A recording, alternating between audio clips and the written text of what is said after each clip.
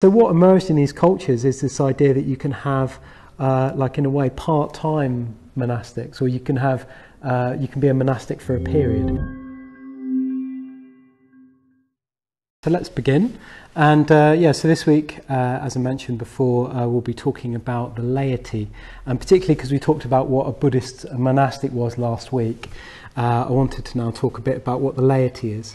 And this is a, a traditional distinction in uh, Buddhism in a way. You have the, uh, you know, you have the, you're probably all familiar with robed monks. I don't know how many of you have been to Thailand or uh, Southeast Asia or whatever. You know, you're probably familiar with the robed monks, and uh, so that's a yeah traditional in a way distinction between them and uh, people who, in a way, um, well, I'll say a bit about the, the monks in a way, but they're particularly characterized by people who have what's called gone forth. They've given up uh, their livelihood, their life, and they've they've decided to become full time uh, practitioners, if you like, uh, usually with no possessions or very few possessions, and uh, yeah, they in a way practice. Or they're well, ideally supposed to practice full time, and certainly in the Buddha's time, they would have been uh, his immediate disciples who, in a way, followed him around and uh, were trained by him until uh, you know, they became teachers themselves and they would go off and, and teach other people.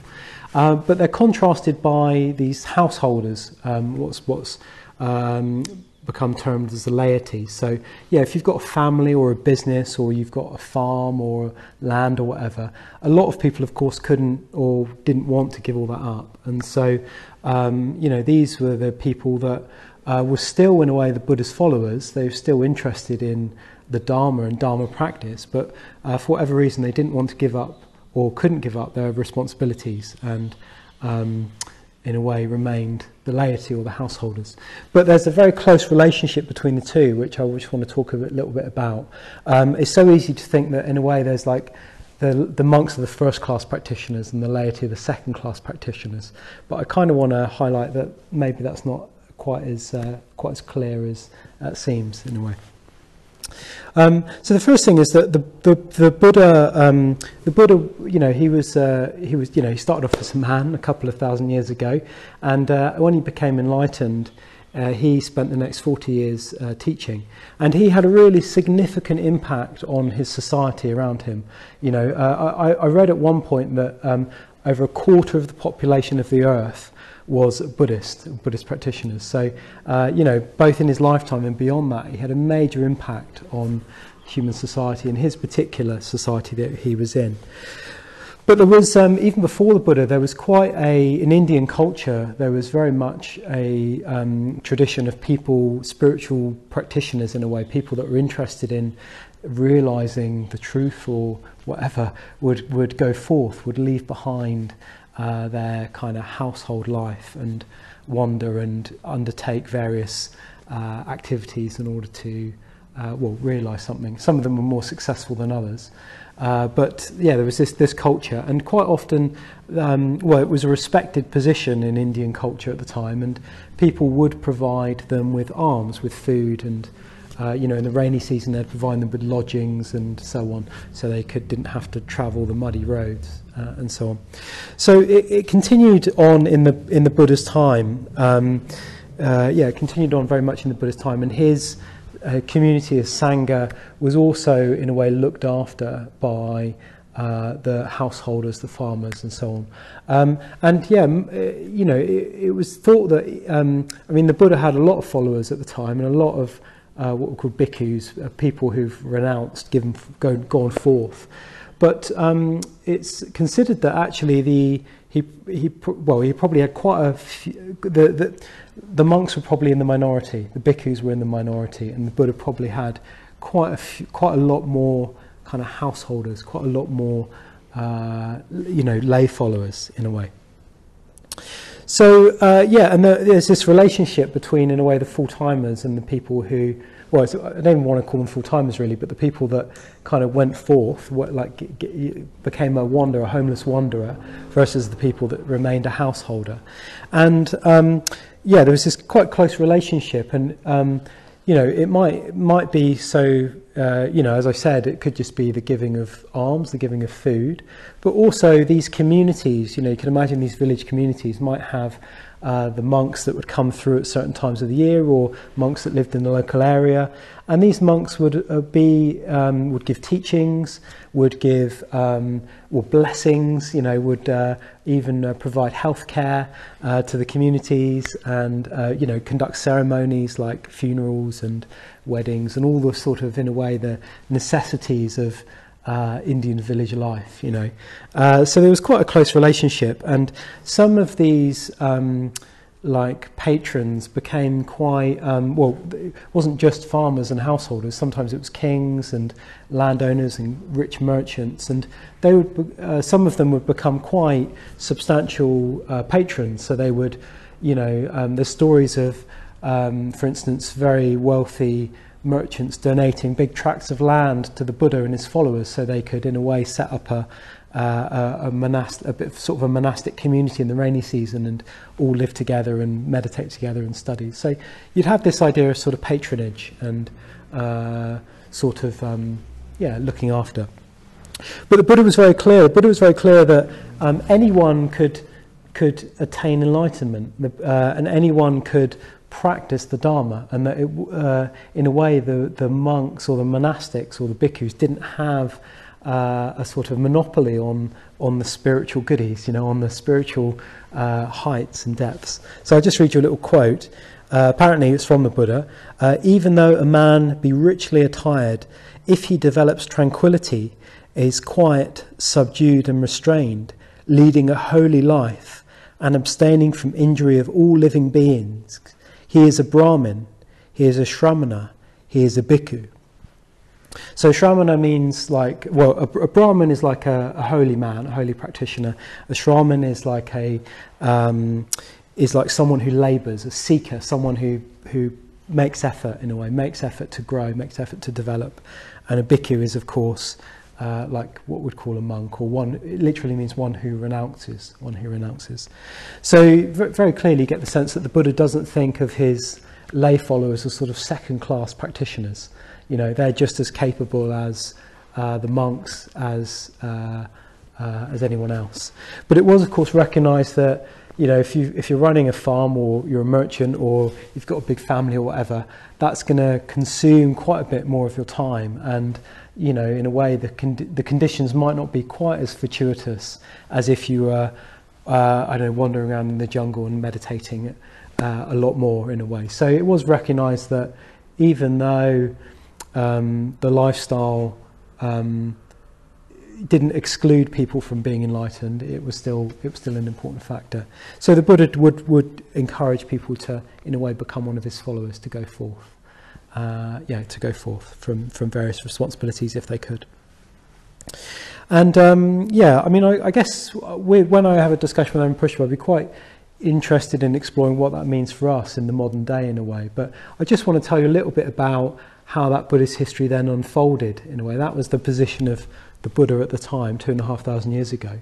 But after his death, uh, a couple of hundred years later, there was a bit of um, a disagreement, a bit of a schism in Buddhism. And as is always the way with things, p- things kind of evolve and they, they stagnate a bit, and then there's a kind of re revisioning of it, and things kind of in a way uh, bifurcate. And you got you got this with Buddhism. You got these two sort of movements emerging after the Buddha's death, and particularly they're characterized by their relationship with the the lay followers. And um, you had this one school which um, is called, I'm not sure if I'm going to be able to pronounce this quite well, but it's called the uh, uh, Sthiraviravada, I think, Sthiraviravada, which literally means the school of elders. And they had this principle that, well, it's the senior monks that really knew Buddhism. You know, they were the ones that practiced it, they were the ones that could teach it, they were the ones that, in a way, um, were the ones really going for it. So in a way, they were the conservatives of the Buddhist time. You know, they they were they were um, uh, yeah. They, so they were in a way the upholders of the Buddhist tradition, and they although they depended on the laity, uh, you know, they they required the householders to provide them with food and alms.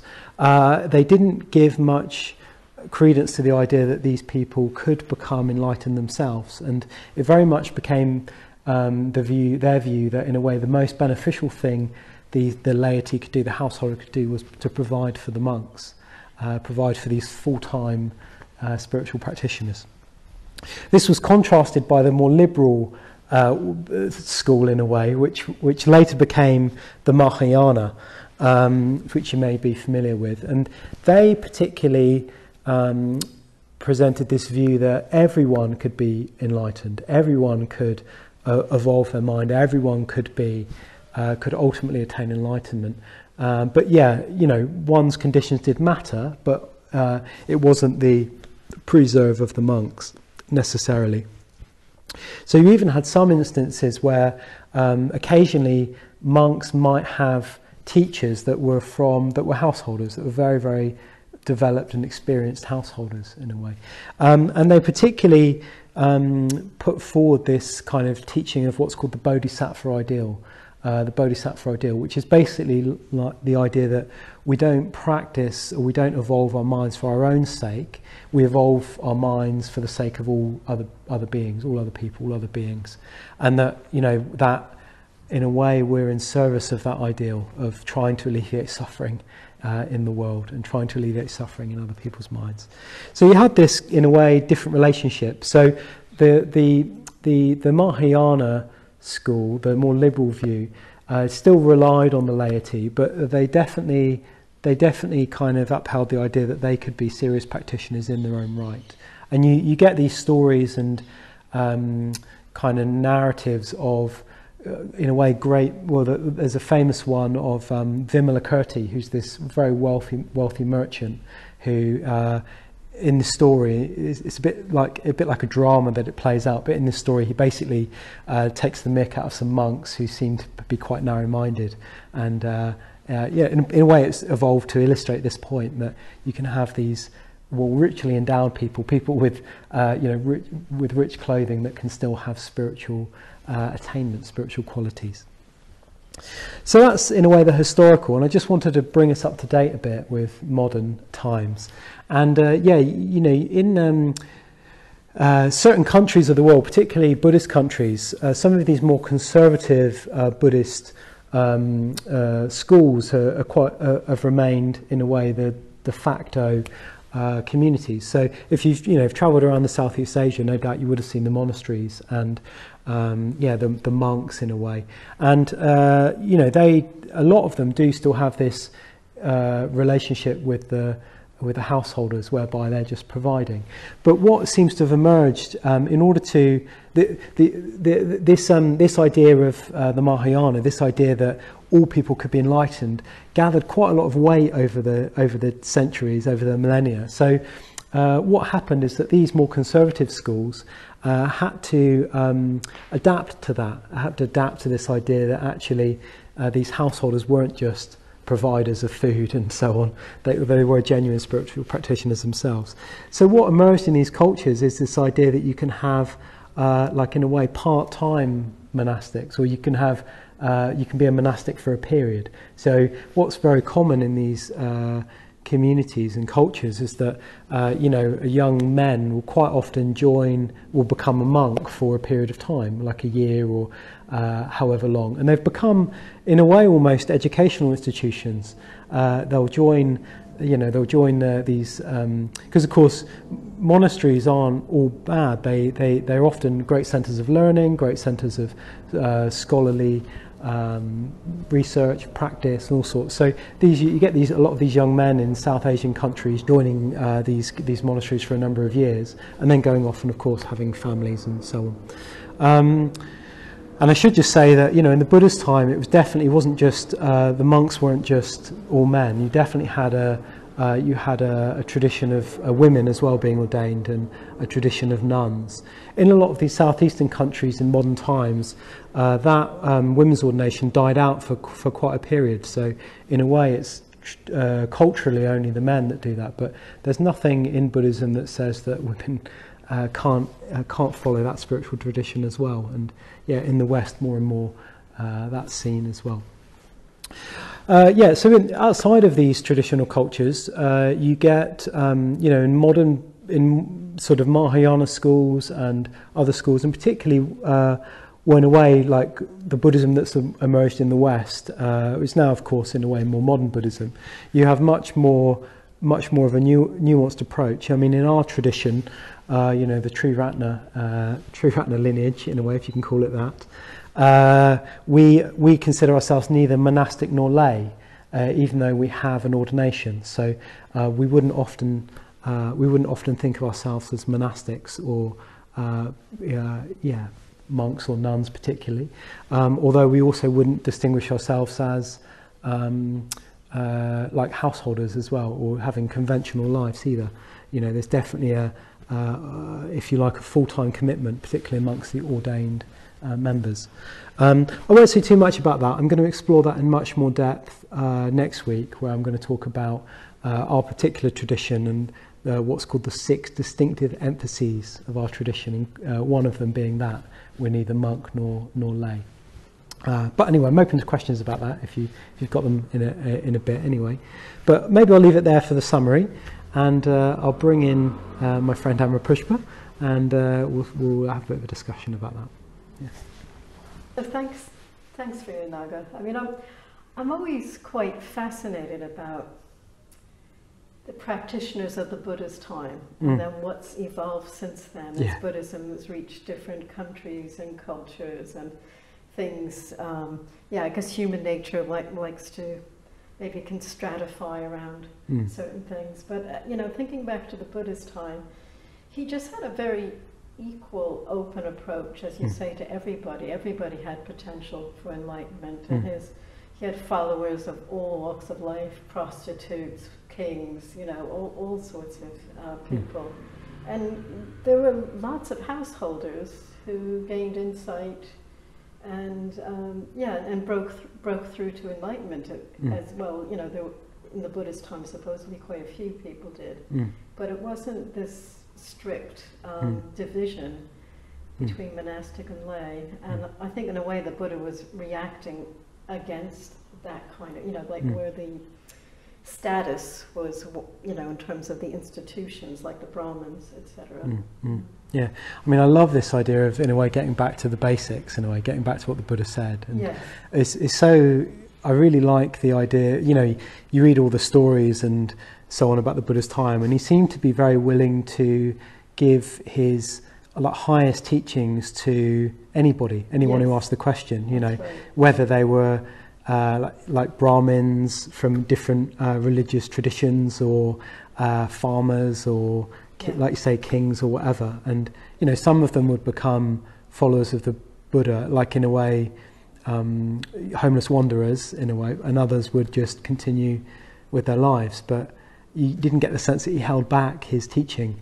Yes, you know, yes. um, and you know maybe it, maybe it's sort of certainly in the in the in these schools that ossified a bit. You know, it seemed to be seemed to be that the monks were quite protective over those teachings, and yeah. you know they would teach the householders, but in a way they wouldn't they wouldn't give them all of the no. Dharma teachings. That's they would hold back the kind of uh, you know the the highest level, what they considered the highest level for for the for the other for the other monks in a way, the other. And all, yeah, and all sorts of rules evolved. You know, whereas in you know some traditions it's it's even you know against the rules to to teach um, give certain teachings to to lay followers, which is yeah. which is so departed from the Buddha's initial message. Yeah. But I, I just think a lot of practicalities came about. You know, like how are they going to um, survive as practitioners without the support of the laity and yeah. um, but also there are certain cultures they've given an awful lot of status mm. and respect and mm, mm. you know that's that's very tempting to hold on to as well and ossify around mm, mm, mm. yeah that's right that's right yeah um, so, so I've got a bit of a question for you so how is this useful for us now in a way? Because we look back, because we've got this like two, two and a half thousand years of Buddhist kind of history, haven't we? And yes. like we're very, in a way, we're very unique in that we're probably the only Buddhists that can see the whole span of Buddhist history. Mm-hmm. You know, all the historically it all would have been rather fragmented. So you know, we can see the kind of evolution of these models. So you know, how's that? How, how do you think that's useful for us in a way as modern practitioners? Um, you know, what do you, or I don't know, what's of interest to you in a way in in, in that evolution? that's a good question. Yeah. I mean, I, I, I, I do think, you know, there's strengths and weaknesses, and, you know, and all, all sorts of things. I think, I think our privileged status is that we can, we can draw, you know, there's so much available about different approaches and traditions, and we can draw of what's of most use Mm. to us. I Mm. mean, I think, I think the principle of our tradition is that our commitment is primary Mm. and the lifestyle secondary. I find that really, really helpful. Mm, And mm. that seemed very true to the time of the Mm. Buddha. Mm. You know, was the householder really practicing Mm. in their lives? Um, and it's not to say there aren't some, you know, there's a lot to be said for the monastic tradition in that you are just focusing on practice. But there's also a lot to be said to be, you know, practicing in the midst of everyday conditions. It Mm. can be very, very, very challenging.